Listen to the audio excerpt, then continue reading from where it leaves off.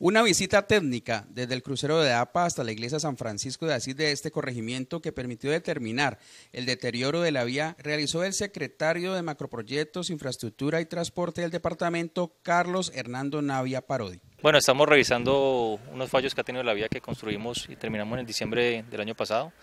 Eh, estamos en compañía de la interventoría del contratista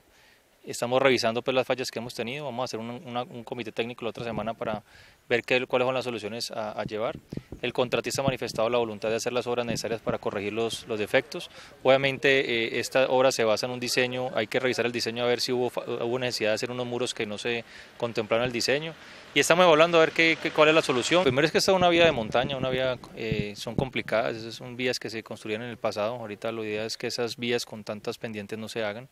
pero estamos, la, obra se hizo y hay que garantizarla, tiene una garantía de cinco años. Hay problemas con ciertas alcantarillas que han tapado, eh, manifiestan que es la comunidad la que los tapó, igual vamos a destaparlas a ver qué, qué pasa, pero, pero sí, eh, son obras que es por el beneficio de la comunidad. Por su parte, el interventor de la obra, el ingeniero Marco Aurelio Forero Patiño, manifestó a CNC Noticias que a raíz de varias fisuras presentadas en el pavimento en los 12.6 kilómetros que tiene como longitud la obra y donde por causa de infiltraciones del agua se ha afectado la carpeta asfáltica de la vía, la interventoría y el contratista de tan importante obra darán solución construyendo unos filtros con el fin de evitar que dichas aguas afecten el pavimento.